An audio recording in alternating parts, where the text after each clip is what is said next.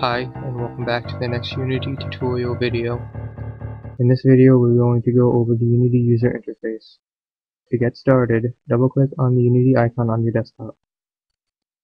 When the project window, window wizard launches, click on create new project and type in probably our next game. Packages are pre-made assets that you can include in your project to speed up development time. We're not going to be using any packages in this project. However, there are options that allow you to import them later on. Click on the Create button and Unity will launch. When Unity launches, you will see the Welcome to Unity screen.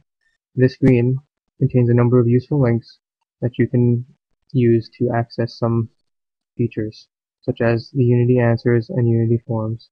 You can also disable this to stop it from showing on startup by clicking on the checkbox. The File option contains uh, how you will create scenes, open projects, and how you can modify your build, and setting, build settings. Click on Build Settings. In Build Settings, you can switch which platform you're developing for. We're going to switch to the web player. There are many platforms that you can develop for, although some require licenses that you may not have.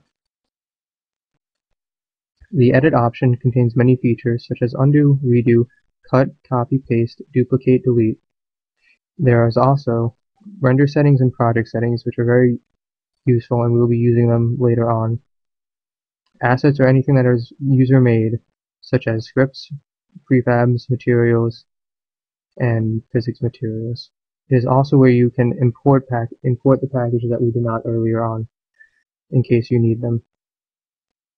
Game objects are anything that exists in your game, such as shapes, lights, text, textures, particle systems, and your camera.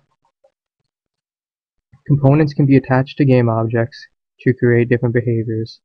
Some important ones are the rigid body and the, and the colliders. The terrain system is not going to be used in this tutorial, and so I'm not going to cover it. Window, the window option will allow you to open up windows that you have closed, such as your console which is where you can find debugging information. The help option allows you to access the welcome screen, allows you to check for updates and report bugs.